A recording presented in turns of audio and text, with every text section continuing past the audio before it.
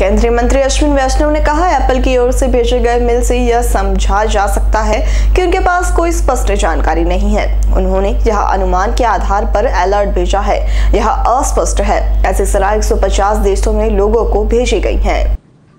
कहीं पर कोई उनके पास जानकारी नहीं है, क्लियर, वो केवल एक हाइपोथेटिकल या फिर केवल एक एस्टिमेट के बेसिस पे लोगों को उन्होंने ये अलर्ट भेजा है।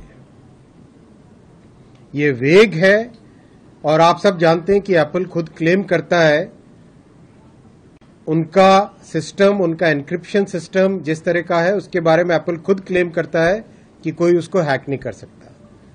दूसरी बात एप्पल ने अभी कुछ ही समय पहले खुद ने अपना क्लैरिफिकेशन इश्यू कर दिया है कि ऐसा जिस तरह का कंपल्सिव क्रिटिक्स आरोप लगाने की कोशिश कर रहे हैं, वैसा कुछ भी नहीं है। 150 देशों में ये इस तरह की एडवाइजरी जारी की गई है।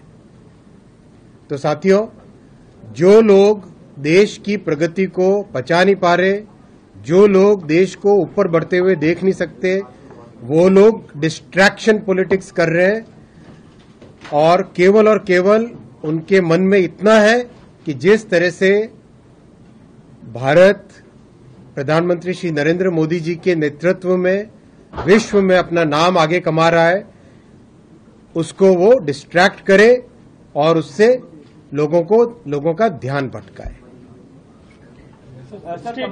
जी जी।